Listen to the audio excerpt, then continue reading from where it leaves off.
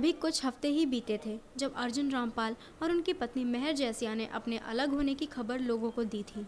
लेकिन अचानक आई एक अफवाह ने सबको चौंका दिया कि अर्जुन सर्बियाई अदाकारा नताशा सैंडोविक के साथ संबंध में हैं।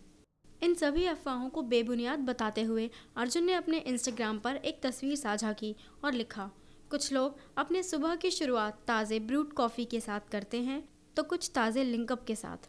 अभी सिर्फ़ मैं और मेरा कप हैं। नताशा ने अर्जुन गावलिक की जीवनी पर बनी फ़िल्म डैडी में अर्जुन के साथ काम किया था।